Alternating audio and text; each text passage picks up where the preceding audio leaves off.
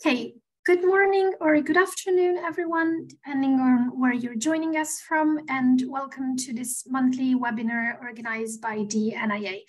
Today's topic is antimicrobial treatment, and uh, we will dive in into, into the topic in just a moment, but I wanted to take a minute uh, before that to introduce NIA and what we do. We're an industry organization based in Brussels with offices in Switzerland, the UK, and the Netherlands. And our mission is to support the successful development and commercialization of nanomaterials. In order to do that, we support our members with understanding what kind of uh, regulatory requirements they have to comply with in order to safely bring their products to the market. We provide the information that uh, users need to have confidence in the nanomaterials performance and safety and we support uh, connections between the different parts of the supply chain so that uh, our members can find the right customers and applications for their materials. We do this by uh, supporting the development of a stable and predictable regulatory framework. We promote opportunities for networking and visibility for our members, and we help the establishment of the global ecosystem. And we look at really all the parts of the different nanotechnology environment, which is why our members are not just the producers and the users of nanomaterials, but also the providers of those collateral products and services like lab equipment, but also regulatory advice, as well as a number of research organizations, as well as universities. In terms of the regulatory and policy activities, we follow chemical legislation and standardization activities, not just in the EU, but globally. We look at uh, the hot topics of safe and sustainable by design, safe innovation, advanced materials, and obviously how trade evolution reflects and affects the global commercial, commercial aspect of nanomaterials. And we uh, obviously do not do this just by ourselves, but we engage with a number of institutional and civil society stakeholders, again, in the EU and globally. If you want to uh, get involved with NIA activities, you are of course following today's webinar, but you can also join our very link active LinkedIn community and participate in events and uh, trade shows where we have uh, where we participate. Uh, and you can also follow the specific projects that we are uh, partners of on topics of innovation and safety for nanomaterials. Um, there are two projects that have started this year, iCare and NanoPass, that are not yet on the slide because they do not have a logo yet, uh, but you should definitely uh, have a look at the NIA website if you want to learn more on those as well. So how to get involved? Uh, if you have received information about this event, you probably already registered for our newsletter. If that is not the case, it only takes a couple of minutes to rectify that. You can also, as I mentioned, join our LinkedIn and Twitter community. And of course, if you're interested in uh, getting involved at a deeper level, you can also uh, join us as a member. As I mentioned earlier, we have membership models that cover pretty much any type of organization. So if you are interested in discussing that more in detail, uh, my contact details are on the slides, which you will receive after the event today. Now, let's jump in. Uh, so we will first look at setting the scene and what are the uh, key points to keep in mind when we're talking about surface antimicrobial surface treatment. We will then have concrete examples of nano-based applications for that. And then we will look at how one can assess the effectiveness of uh, antimicrobial treatment. So with that in mind, we can start. Um, now, the last couple of years have really brought to the attention of the broader public a challenge that those who manage uh, spaces open to the public already had in mind, uh, and that is how to keep high touch surfaces safe for the public.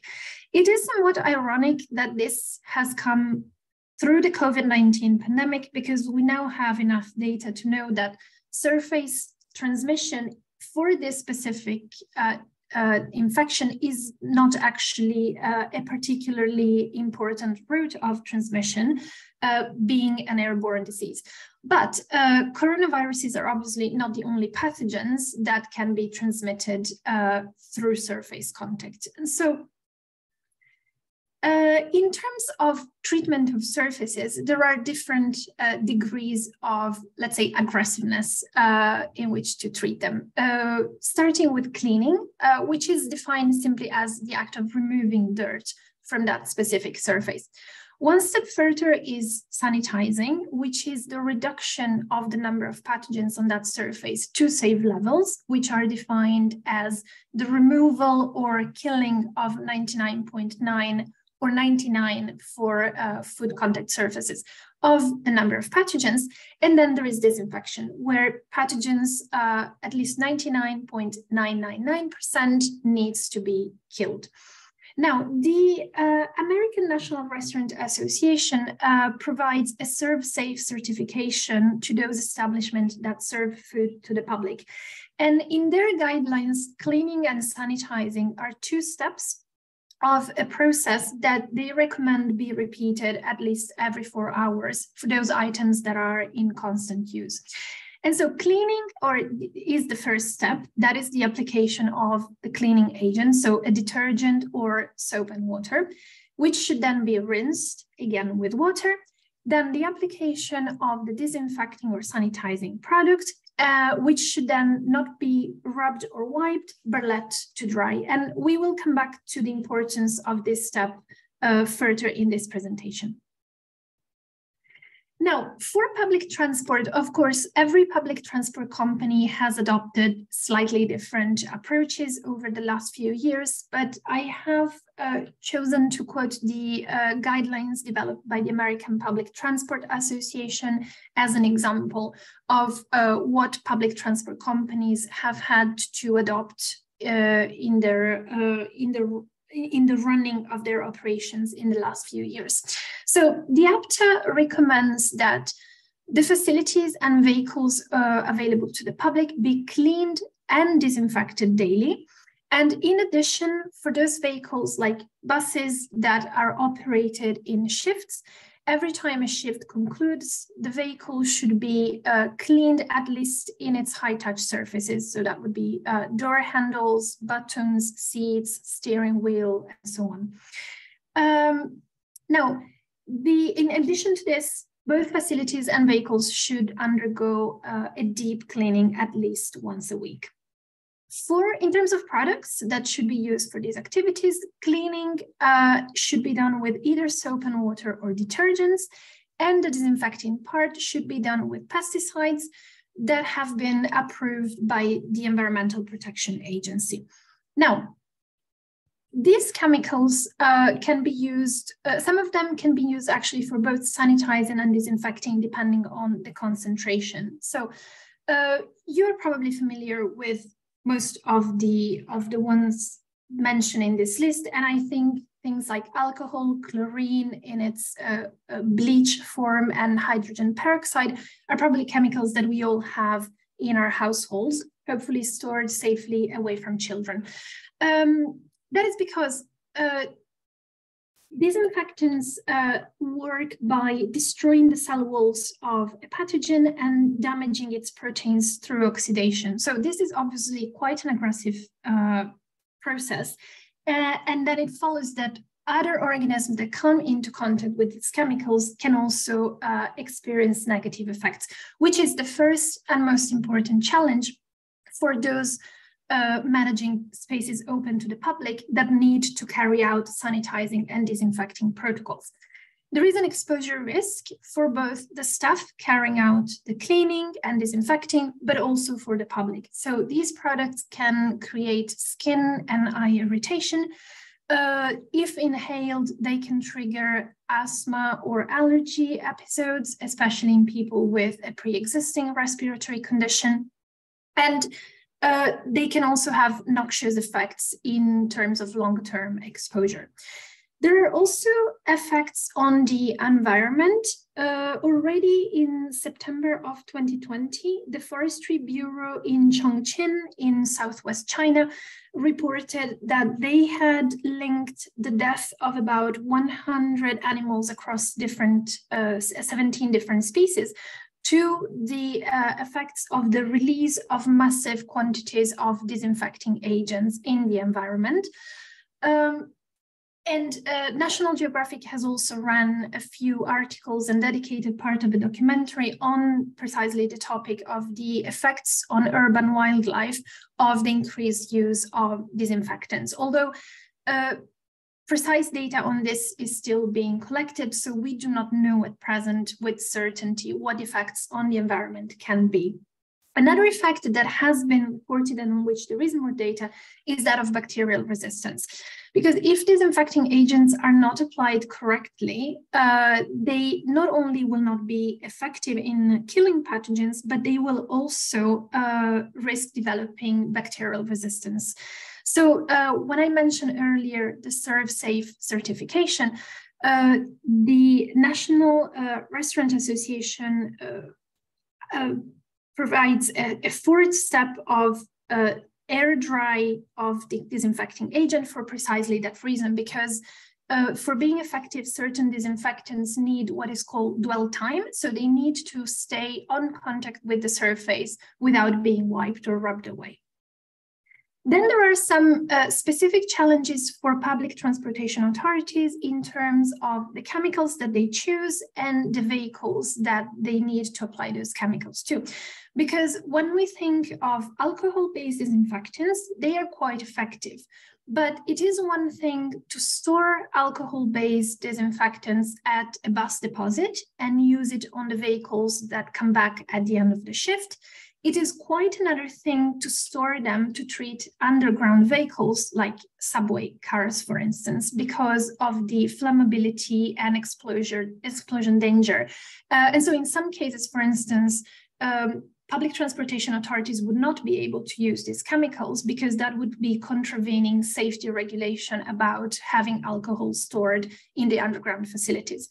Um, anecdotally, for alcohol, there are also reports of episodes of vandalism. Um, there is a, a, a, town in Massachusetts where last December uh, it was reported that hand sanitizers uh, dispenser had been set on fire. And finally, even if everything goes to plan and the sanitation is carried out correctly with no uh, harmful effects on staff and the public, this obviously generates additional costs. So here in Brussels, where the NIA offices are based, the public transportation company uh, estimated that in 2021, they had to add 22 and a half million of euros to their budget to cover the increased costs related to the sanitation protocols that they are carrying out. Just to put that into context, 27 million was the amount that they spent in the same year on energy costs. So this can add quite considerably to uh, a company's running costs. And that is why alternative solutions have also been explored. So in terms of other inactivating agents that can be used uh, for surface treatment, uh, ultraviolet light has been looked at, although that comes with its own set of cost and challenges. And then biocidal surface materials as well as films and coatings have been explored. Uh, this is a field in which the healthcare sector has already uh, made considerable advancements. And uh, with that, I would like to conclude this first part and introduce our next speaker for today. So uh, Eldara Rodriguez Cobo is Innovation Manager at NanoGap and an NIA board member. So very happy to welcome you to the event, Eldara. And whenever you're ready, you can share your slides and unmute yourself. Welcome. Okay, uh, thank you very much, everybody, to attend, and of course to NIA to to to count with us uh, for for this for this interesting webinar. I'm going to switch off the camera and but I and I will share a screen. Just let me know if you find some problems. Uh, sorry. Eh, we can see your screen now. Thank you. Okay, perfect. Uh, I will just. Okay, so um, I am Eldara Rodriguez. Uh, I am Innovation Manager of NanoGap. We are a nanomaterials company based in, in Spain. And okay, I would like to, to show you one of the thing, one of the applications that we have in our portfolio of nanomaterials and metal molecules, in this case, metal molecules for antimicrobial surface treatment. Um, okay, first of all, I would like to introduce just uh, a little bit uh, what we do and where, uh, where we do and everything. NanoGap uh, uh, application portfolio has is based on a, on a technology platform based on metal molecules, which are sub-nanometer clusters of just a few atoms with unique and tunable properties. These, uh, these metal molecules and these, uh, these uh, applications lead us to have a wide range of high-value, high-growth markets to access to them, including catalysts, clean hydrogen, and cancer treatment. So we have a diverse portfolio with short, medium, and long-term opportunities. The, everything is, is based on a strong intellectual property and freedom to operate with 12 patents, active patents right now, uh, with more than the 70% granted. And we have major commercial contracts in place, which, mean that, which means that we have demonstrated commercial demand. Uh, our business strategy uh, start with uh, new applications for these metal molecules and also for nanoparticles, bigger counterparts, um, that are developed with low resor lower resources compared with the other steps um, in, a, in a research, basic research uh, laboratory. When the application is mature enough to reach, uh, to, to reach um, a specific market and to get through different clients because we found that we find that different clients will be interested in that, that application. We put it in the business, business unit, which means to put much more effort and to invest, uh, to put more resources on this application. And the final goal, the final objective, if possible, because it's not the case in, uh, uh, for every application, is to, is to, um, to create a spin-off. This is a way to maximize the value and also to be sure that uh, every application is lead and is managed for people that, that are uh, mm, experts on the different areas because we know a lot of our materials, how to produce it, how to apply them, but it's really difficult to know about every market that we can find for, for uh, our products. Um, it's important for us always to explain what metal molecules are. You can see here a, a diagram with nanoparticles, large clusters, and small clusters. And the clusters, the small clusters, which the metal molecules that we are working with are clusters of just a few atoms inside. They are very stable. And although they are form of metal elements, they have no metallic properties. This can be seen uh, easily in this diagram. Uh, uh, while a nanoparticle of around 10 nanometers is uh, is composed of a core and a shell, and the core is mainly uh, has the same properties as the bulk. Um, and the, spe the special properties of the nanoparticle compared with the bulk are due to surface uh, effects, due to the atoms that are on the surface. In the case of large clusters, um, the it, um, the, there is a separation on the energy levels which lead to discrete um, uh, electronic states. So the electrons are confined. And then, uh, but in this case, the separation between the, the energy levels is not high enough to be uh, as stable as the small clusters. In this case, the HOMO-LUMO uh, gap is really high. So there is no core shell structure at all because all the atoms are on the surface and there is no need for binding uh, with strong uh, stabilizing agents. So um, this band gap structure with confined electrons give us a really interesting and new unique size dependent properties. So just changing one or two or three atoms of the cluster will change the properties uh, to semiconductor, thermocatalytic, electrocatalytic, photocatalytic, antimicrobial, or therapeutic applications. So uh, behind uh, all the applications of the metal molecules, there is the, the same mechanism, which is a, a catalytic process. So we are uh, able to manufacture by scalable aqueous methods using low-cost raw materials, these kind of materials. So there is no need to use uh, rare earth or uh, strange materials that are not common. Uh, which will lead to a, a reduce the cost of every application. By other side, um, they are really stable at high temperatures. So you can work with them or work with materials uh, and do different steps like sintering or uh, temperature treatment or whatever treatment, uh, keeping the, the properties of the materials. Um, the typical catalyst support such alumina, silica, and zirconia can be used to prepare dry support catalysis, catalysts. In this case, it would be more for applications in energy, energy or uh, chemical catalysis. And the naked surface of these metal molecules allows for further fine-tuning of the catalytic properties with the through the interaction of these atoms of the surface of the of the metal molecule with the support.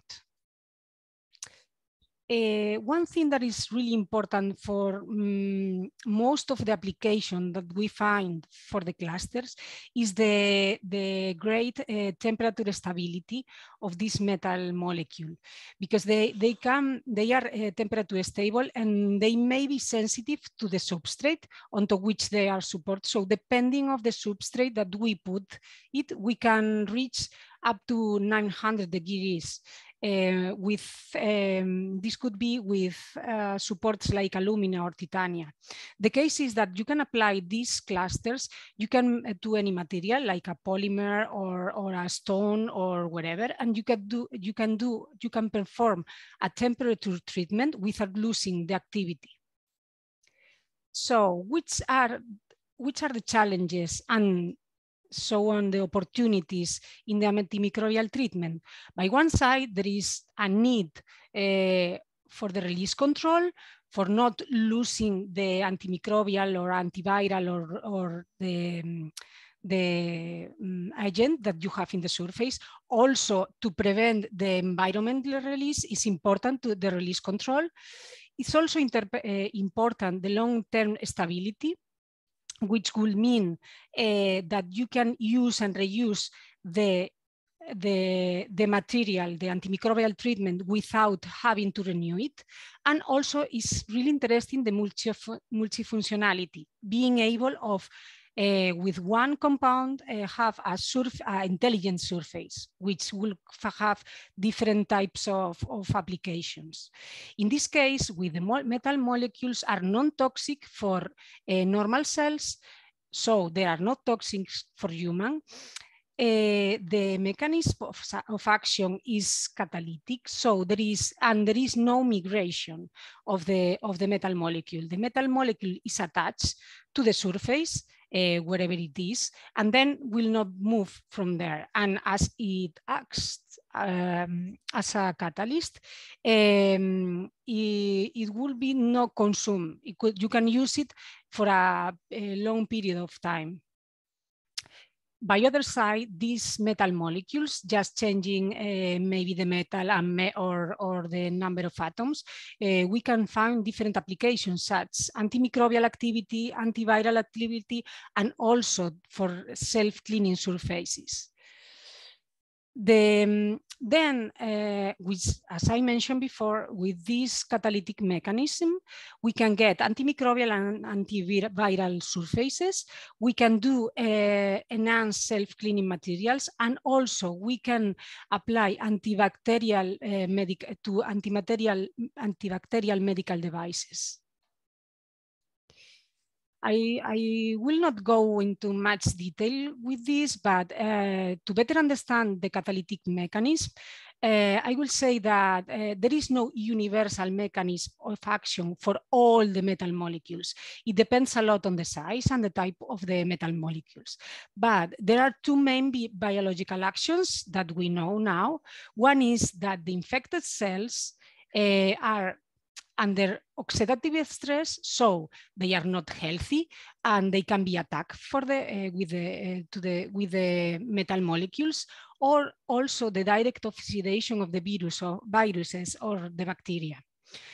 Um, metal molecules are highly active for the irreversible oxidation of thiols at room temperature through the reactive oxygen species. So they can react with the thiol groups of proteins and also the virus or, or bacteria membranes. So for the surface treatment, treatment uh, the, um, the advantages of, of these metal molecules are uh, are that they are non-migratory, they are permanent and effective at very low um, addition level, which is a really huge advantage if you compare to the sil common antibacterial sil uh, silver compounds used. And this is due to the catalytic mechanism. We just need a small amount to get the highest uh, reaction. They can be used for the treatment of multiple surfaces, including plastics, glass, wood, metal, and stone. Uh, so the application will include a lot of things like tabletops, floors, walls, and uh, screens in public spaces, uh, as well as public transport, hospital, medical devices. Uh, here I can I would like to show you some uh, preliminary uh, preliminary results for the antimicrobial treatment of medical devices. In this case, metal molecules can be applied on the surface of the medical devices, such as catheter, imparting the antimicrobial properties. The good thing is that they are so small, so there is no change in the optical properties. So it will just act as, as anti, anti, antimicrobial, but not will not change the other properties of the material. They can be formulated both in water or in acrylate. So it's, it's depending on the application, in the final application, uh, one form of another could be interesting. And they are really effective at ppm levels. So they can be used in catheters. Here, uh, bacterial contamination of catheters is, is a huge problem in, in the hospitals. And as you can see here, the activity, the inhibition shown by these doses of uh, metal molecules of silver uh, against the Staphylococcus aureus uh, is up to 100%, which was a really good result. Another application uh, that we have tested is uh, for the self-cleaning of surface. In this case, we have shown that with a low dose of, uh, of copper 5 uh, metal molecules, we were able to, to degrade methylene blue, which is an organic molecule, so a target to, to, uh, to clean some type of surface. So you can see here the change of the methylene blue that when it's oxidized, lose the color. And for using this, we just need the visible light and it's reusable, so no post-treatment is needed for a surface. They can be used uh, for a long uh, time. Here uh, is just summarize the results for the different surfaces that we have tested. By one side here, the coated PET films are the same as the, uh, the catheters that I showed you before. But here you can see that we use also uh, successfully for paper banknotes, which is something very common to put some treatments for the banknotes that are changing, exchanging hands during their life and also in granite surface, in stone face. So, and the activity and the killing that we found, it was really, really nice um, against different, uh, different uh, organisms. Just to finalize, I want to point out that even though uh, nanotechnology uh, can lead us to a very uh, disruptive and really interesting applications in different areas. And in this case, in the antimicrobial treatments or surface, uh, and they could be a, really a solution. One of the main problems that we face and the challenge to the commercialization is always the, the regulatory approval. Uh, in our case, the metal molecules, the AQCs are, are a new material as it happens with a lot of nanomaterials. So, and regulatory approval processes are really long and expensive. We're, we are now just exploring funding opportunities to get this because for a SME like us, it's difficult to face with, with this challenge. And thank you very much. And if you have any question, I think that uh, Chiara will open the questions later.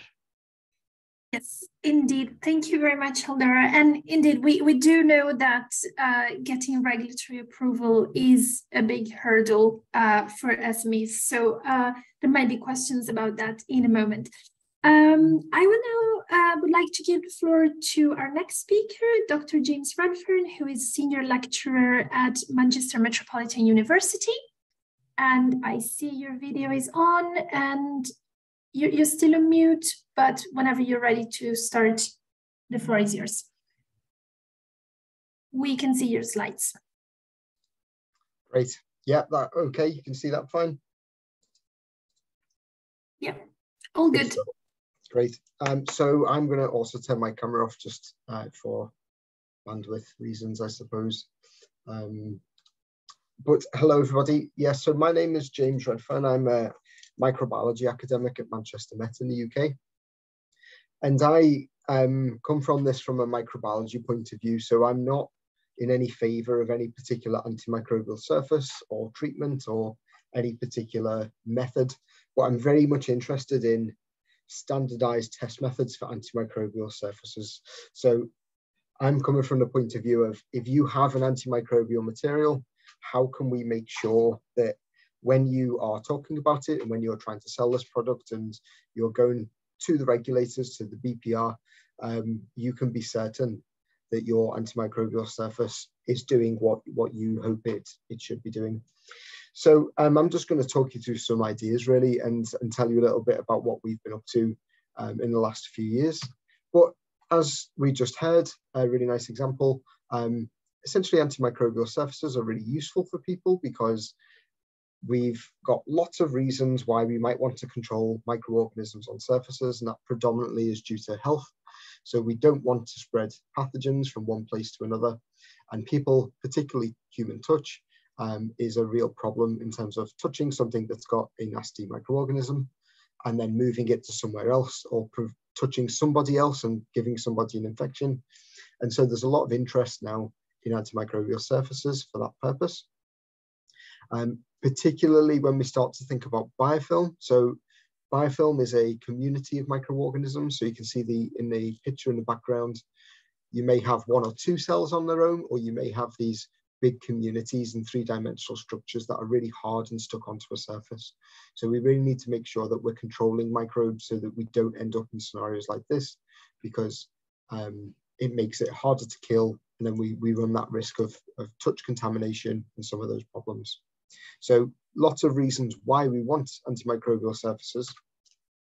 And we have them in the real world now. They are everywhere, um, mostly due, I think, or, or most recently due to the pandemic, we are seeing a lot more interest in antimicrobial surfaces. A lot of the public are now aware that this is something that they want to see. Um, it gives people confidence to go out and about. Uh, and people are generally more aware now of sanitation and, and clean environments because of the last few years. So, so we are starting to see these materials um, come out into the real world. So on the left, there's a photo of an advertisement on the uh, metro in Vancouver in Canada. So they've rolled out copper surfaces into their into their metro lines um, for this exact purpose. Uh, I, but the problem that we see is that really what we want to be able to do is um, we want to be able to test these antimicrobial surfaces uh, in, in like realistic conditions. So at the moment, the challenge we've got is that we have test methods that we can use in the lab to test antimicrobial materials, metal materials, whatever they may be, and we can generate data from there um, that means that we can say with confidence that these things work, that they are antimicrobial. But really, those test methods are not at all realistic to any condition that you might want to put these materials into. So what we really need is to be able to test antimicrobial coatings and surfaces and um, biocide containing products uh, in environments or conditions that are expected for their intended end use. So if you want to place a copper handrail in a metro train, then we want to be able to test it in the lab in a condition that's similar to make sure that the test method itself is not artificially providing um, data that suggests something is antimicrobial when perhaps it might not be um, as good as we would like it to be. Uh, and then this problem is made worse when you think about um, actually how these things are used in the real world. Of course, when we are testing things in the lab, they are in lab conditions, and that's really important because we need things to be reproducible um, and we need control over things in the lab. But when you go out into the real world, nothing is um, quite the same.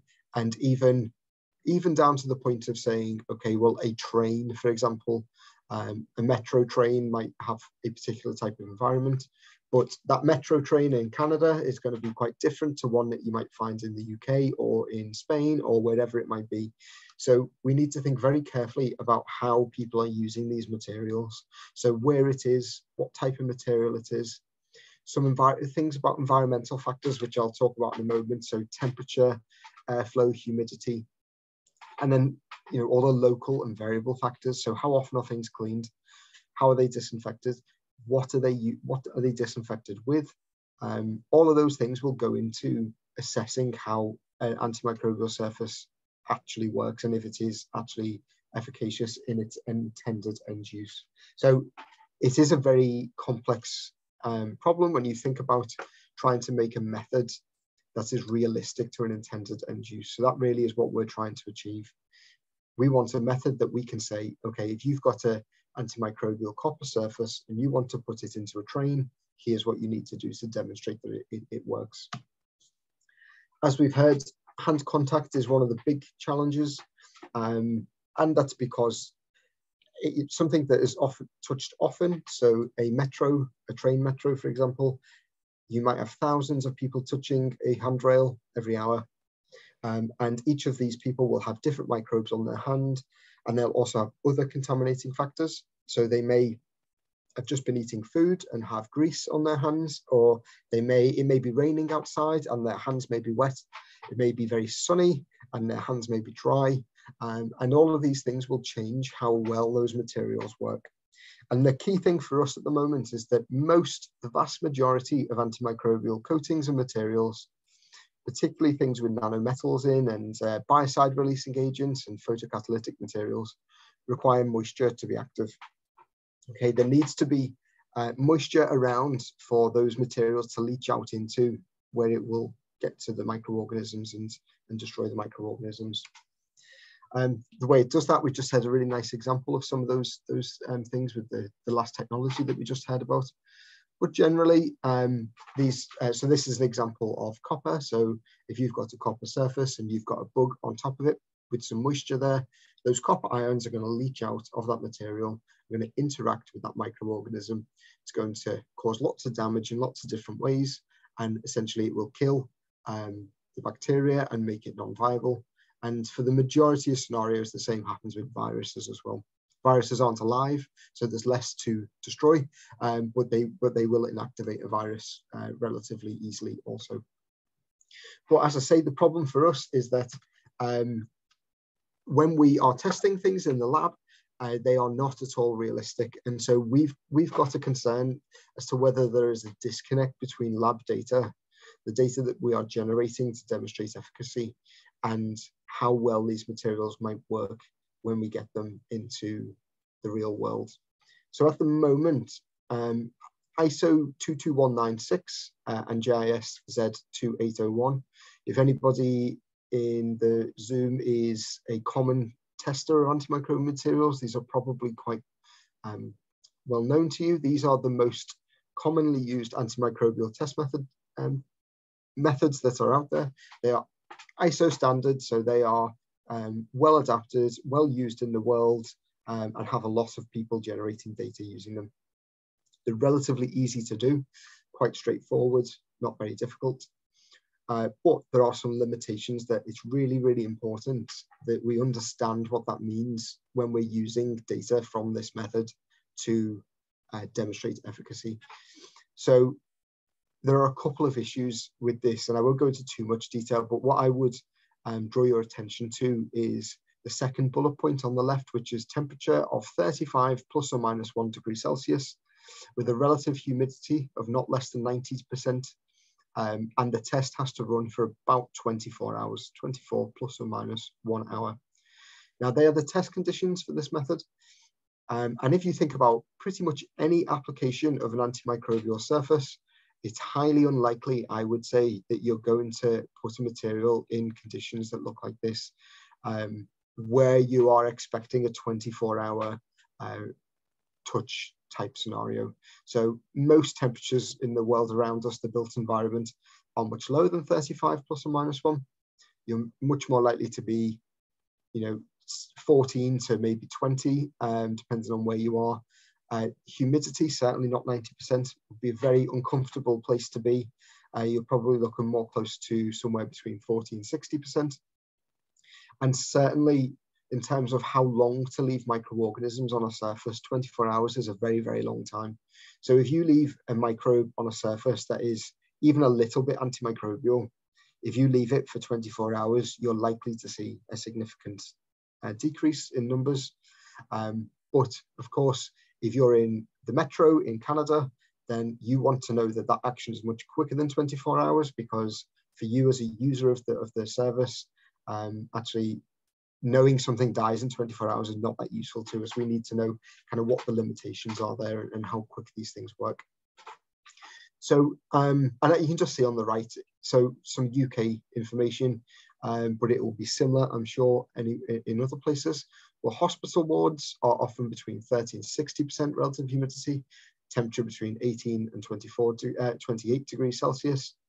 Um, and equally with airflow, okay, so these in 22196, the common method, we often, um, well, in fact, you, you put them in a chamber, right? So you need to make sure that the humidity doesn't drop below 90%, you have to close everything into a box.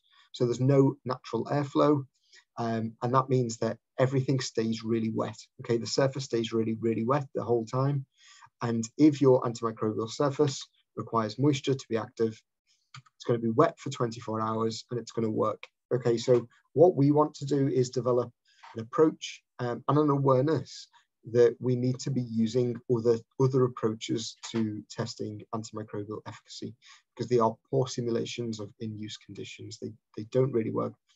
As an initial screen, they are fantastic. So it's really useful for us to use this method to know if something works. But then when you want to know if it's going to work in a particular location, we need to think a little bit more carefully about what, what kind of tests we are doing. So we've been working for the last couple of years on developing a 3D printed test chamber for this purpose. Um, each of the components in this um, are, you can buy everything you need from Amazon um, and as I say, the actual chamber itself is 3D printed, so um, it's really reproducible. And the whole point is that we can control things like airflow, we can control humidity, we can control um, how many samples go in and how long it takes, um, and then also temperature as well.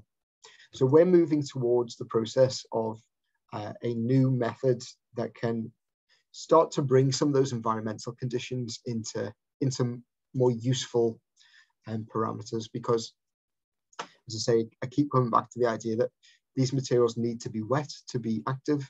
And so if your test artificially keeps everything wet for 24 hours, then what you're doing is giving an antimicrobial surface the very best chance to demonstrate that it's going to work, not um, the best chance to demonstrate it's going to work in your intended end use. So we're, we're currently working towards um, trying to make this a viable test chamber that anybody can use um, and will be published and available, freely available, uh, as part of a standardized method. Um, but as you can tell, uh, when you're thinking about things like temperature, humidity, and airflow, um, these things are really quite complex and, and they're really, really hard to model. Uh, but we are slowly working our way through it. So you can see, so I'd, if you, um, on the previous slides, the, the writing in red in the corner are where we've published some of this work. So you can always go back and look at some of this stuff in the literature if you would like. Um, and there's a lot of numbers on the page right now, so I'm not going to kind of take you through each of them one by one. Um, that wouldn't be very fun. So instead, I'll just give you some highlights. But essentially what we did here, because that the amount of time moisture is on a surface is really important for you to know how active your material is. Um, we actually just pipetted small droplets of water onto surfaces um, and seeing how long it takes to dry. Okay, so if our method takes 24 hours, and we know that's not very realistic, how long should we be keeping droplets of water on surfaces for? What does it look like in reality? And how do these temperature, humidity, and airflow um, how do they interact with these kinds of times? And as you can imagine, the warmer a condition, um, the quicker it's going to take to dry. Okay, so that makes sense, doesn't it? So if something is really warm, your droplet is going to dry quicker. Um, if the humidity is high, it's going to take longer to dry. If there's more moisture in the air around you, it's going to take longer for droplets to dry on a surface.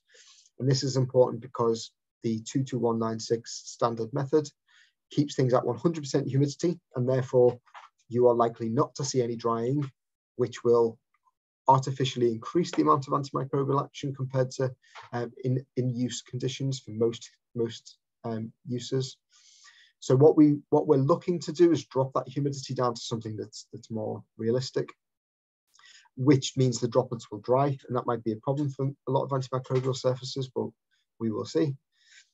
Um, and then including airflow, because there is nowhere in the world that has no airflow um, for most antimicrobial surfaces. Any room you have, any public transport, any any sort of environment is going to have a, mo a movement of air in there, and any sort of airflow increases um, means that droplets are going to dry quicker as well. Okay, so if the if the amount of time a droplet with bacteria or viruses on a surface is important, to your antimicrobial action.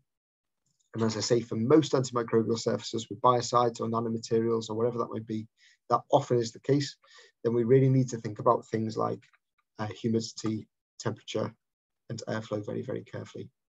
It's not, not useful to us to just say it works in 24 hours in these really um, artificial conditions. We really need to understand what is happening in conditions that are much more realistic. Um, we've also played around with different types of microorganisms. Uh, and so what you can see here are um, the colors, the little colored bars are different liquids. So water, SM buffer, and saline are all controls. So there's no microbes in those. But then we've got Pseudomonas syringae and E. coli as two bacteria, and then Phi 174 and Phi 6, which are viruses. And essentially we dropped these onto um, different types of materials, polypropylene, nitrile, PVC, and copper, and we see how long it takes to dry. Okay, and what you can see is that actually in all scenarios where there's a where the bacteria were involved, those droplets dried significantly quicker. Um, and depending on the material it is and the type of microorganism, it varied quite a lot. Okay, so when we're making claims around antimicrobial surfaces and that they work, we really, really need to think very carefully about the data that's been presented there and what that might look like when you transfer it into the real world. Unfortunately, these things are very complex um, and uh, we've still got a lot more work to go to, to really untangle what's happening here. Um, and then we need to think about what happens when the bacteria land on the surface, on your surface, wherever that might be. Um, and so what you can see here is the same bacteria dropped onto different types of material. So again, polypropylene, nitrile, PVC, and copper in that order. Uh, and you can see, you might be able to see, depending on how big your screen is, the kind of pattern of deposition of bacteria. You can't really see them very well. Um, if you follow the um, manuscript in, in the bottom left corner there, you'll be able to find these images in a, a, much clearer vision, but you can see them a little bit better in this one. Um, and so we need, and we, by we, I mean me, we as microbiologists really need to understand what's happening in these droplets. So because it's important that if your surface um, it, what, what you want is a, a, nice even layer of your contaminating bacteria on your surface so your surface can, can kill those bacteria. If they start to drop on top of each other and pile up on top of each other, then it might be that your antimicrobial action doesn't really reach the top of the bacterial pile. Um, so we need to understand a little bit more about how bacteria uh, and other microorganisms deposit onto, onto such surfaces. So again, on the left, we've got polypropylene, and then on the right, we've got copper. And you can see on the left, we see a phenomenon that's known as the coffee ring effect. So we, we have a, a deposition of bacteria around the outer edge. I don't know whether you can see my mouse or not, but we're talking about here. Um, so we get a deposition here, then we get this uh, cleared zone, and then we get a nice even layer of bacteria here. But this deposition around the edge, they are they're actually piled on top of each other. They aren't nice and uh, laid out, and that might cause problems depending on uh, the type of antimicrobial action. Whereas on this pure copper surface, we don't see that effect. We just see a nice even distribution of bacteria. So not only is it important to understand the environmental conditions that you're placing your materials into, but also the interaction between the microbe um, and the surface as well uh, when we get into the real world. So essentially, um, what I don't have for you is a nice, easy answer in terms of how we do this. Uh, but what we do now know is that we've got lots of work to do to create these methods. And we're seeing a lot of conversation in the industry um, and with colleagues in other sectors as well. So the US and, and other places that are really interested in this kind of um, work because we're, we are getting to the position now where we understand that the standardized test methods that we have to use anti, for antimicrobial testing might not be um, all we need. So they are very, very useful. They are absolutely are useful and they do a really good job, but we might need, for example, a second set of methods that are more finely tuned to some of these common end use environments, touch surfaces, transport, hospitals, all those kinds of things. And it's really, really important that when we're designing these methods, um, we make them usable, reproducible, repeatable, uh, all the things that you'd expect from an ISO method, for example, um, and also is understandable, I guess, for the end user and the manufacturer as well. So essentially, what we've been working on for a little while now is, uh, as I say, developing chambers and different approaches and trying to understand the background of the interaction between a microbial and antimicrobial surface in a, an end use environment.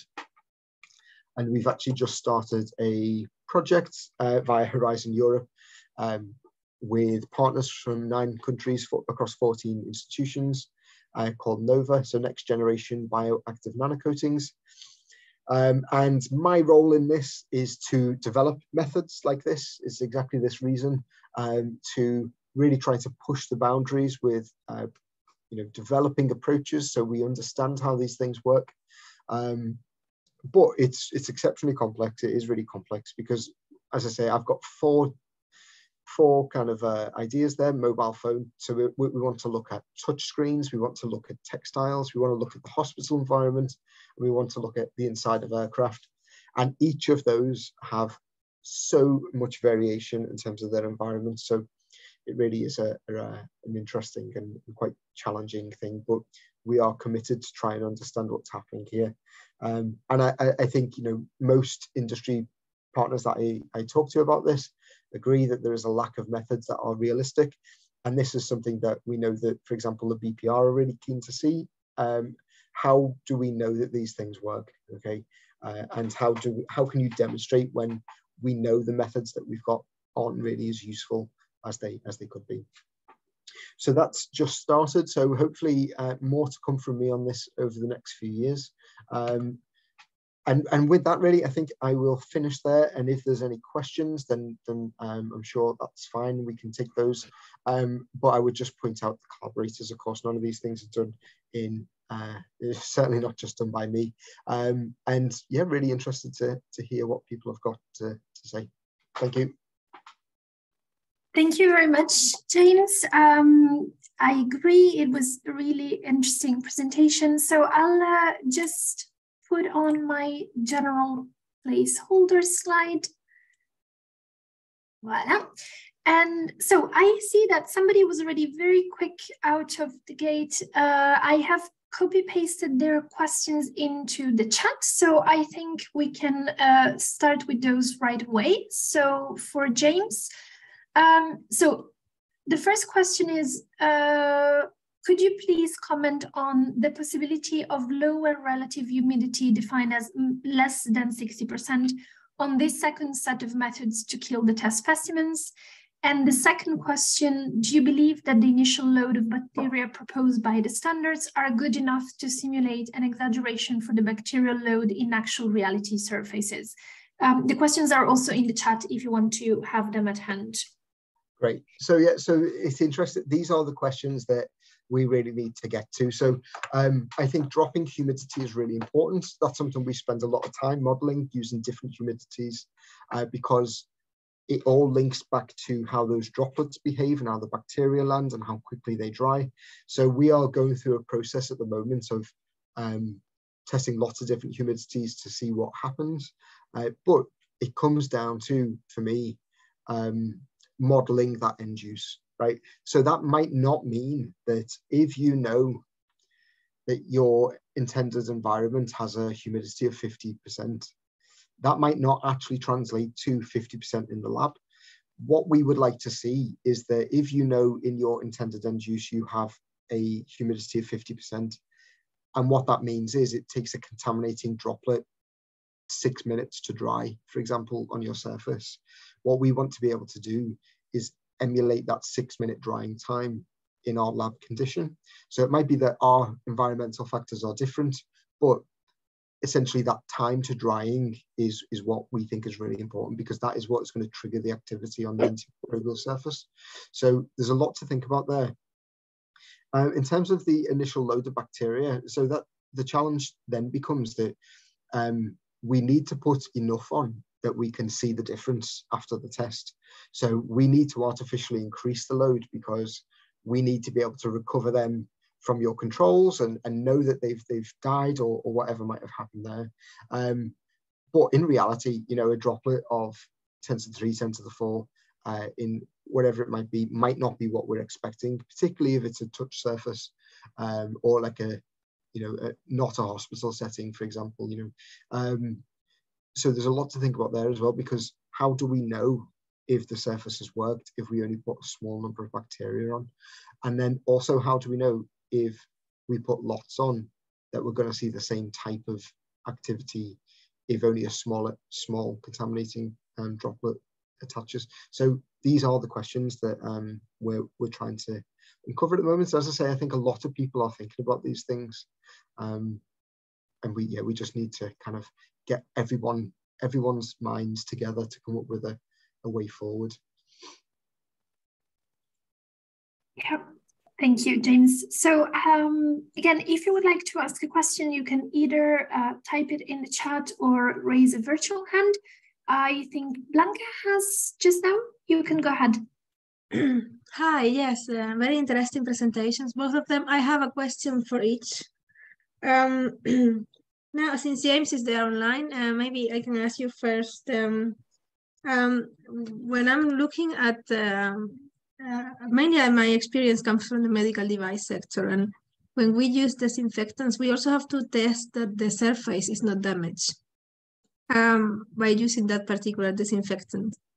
Do you envisage also uh, standards on that front, or are you contributing to any of that? Yeah, so medical devices is uh, even more complex because of the added regulatory um, issues. So we are, um, at the moment, we're looking at medical devices from a biofilm perspective, so anti-biofilm, antimicrobial claims. Um, but it's yeah, much, much, much harder. I think one of the things that we also don't really think about when we think about antimicrobial surfaces is how long they're going to last for. Um, if they leach all of their, you know, how long do they last? With methods like 22196, we are using pristine surfaces that have never been used before. So for example, should we be using aged, artificially aged samples? Should we be looking at um, also running alongside durability assessment?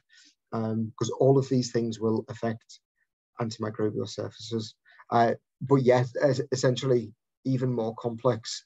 As I say, I'm I'm only really involved in medical devices from a biofilm point of view, not necessarily um, disinfectants and li especially liquid disinfectants, I guess. Um, but I, I appreciate it's a it's a complex problem. Yeah, exactly. But okay, so this is a very difficult case. I suppose that you don't want to start there, right? you want to start on something easier. Yeah, yeah and, and also my question from Eldara, because she also mentioned medical devices. And one point, one question that she will be asked when she tries to put this forwards in under medical devices is if she knows um, how long will these, these metal particles stay on, on the surface of the catheter or whatever other devices she she wants to to disinfect because the, generally we have to show that any trace of the disinfectant is disappeared from the surface of the medical device. So in this case, I think Eldara, you'll have to make sure that you you you have a way of telling them that the, your particles will be gone because if there are particles on the medical device, then you you get into more problems. But I don't know if you have thought about this. Okay, yeah. yeah, yeah. First of all, this, this is this was preliminary results. So yeah. now we need to develop this uh, by the hand to a uh, to a partner or a company that uh, do this. I mean, to find their issues and to put together our results. Uh, one thing is that the, these metal molecules interact with the polymer that form the catheter. So in principle, they are not going to diffuse. They are going to be to stay there and they are temperature stable. So we hope or we, we think that they will stay. They will not be, they, they will not be released for the class uh, for the metal molecules to the outside of the catheter, but we should measure it. I mean, yeah. uh, we need to, to, to test everything. I mean, uh, the results that we have are really preliminary, preliminary just with the with the um, with the compounds. I mean, uh, but these these are things that we should test.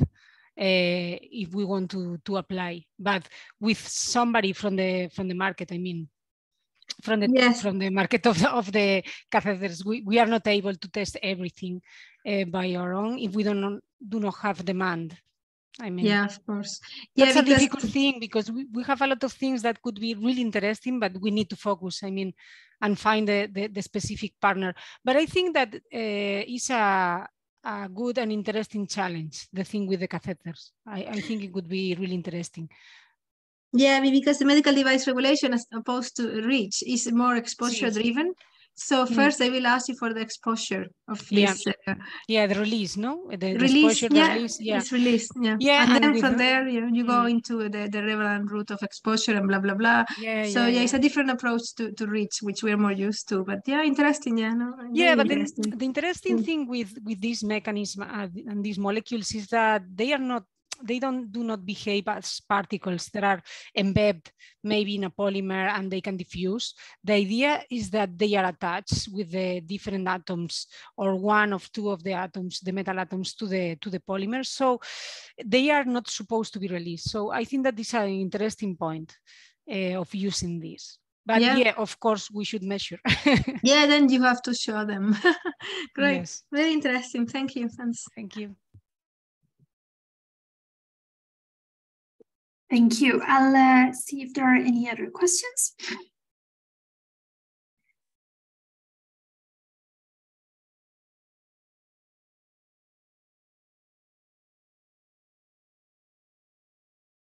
Uh, yes, Sean?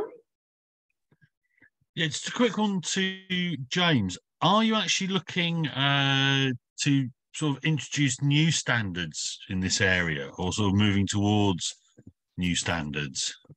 Uh, yes. So um, we work with British standards and then also uh, a couple of the European CEN groups and, and, various other people. So there's a lot, there is a lot of work going on in, around this at the moment in terms of standardization. Um, it's just that everybody's running up against these same challenges and uh, and the challenge the, the, the problem is there's a lot of basic biology that we need to understand properly to kind of make sure that we're doing this right but it's it is on the way. So there are a couple of um, proposed standards knocking around at the moment and i assume they'll they'll pop up in the next couple of years. Uh, but yeah there's there's a lot out there that's happening. And and just as quickly as a follow-up is is there any discrepancy between the sort of uh, standards or standards that are there for coatings and maybe regulation as well? Um, well, uh, the I think so. Part of the problem is, especially with the BPR and the, some of the US regulators as well, that they now appreciate that our current methods, especially 22196, which is the most used method, isn't doing what people had hoped it was doing in that it, it's not really a very good measure of end use activity.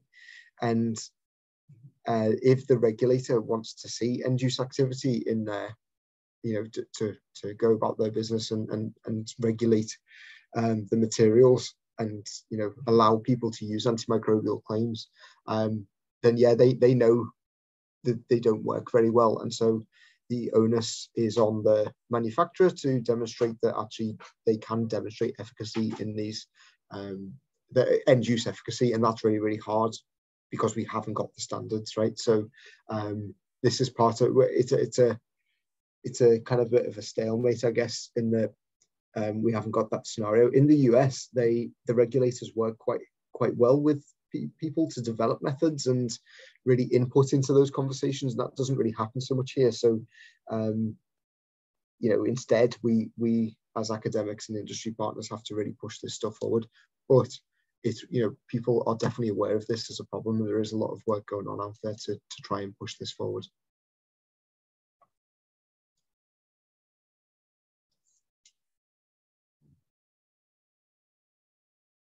Thank you. So um, I'm looking at the chat.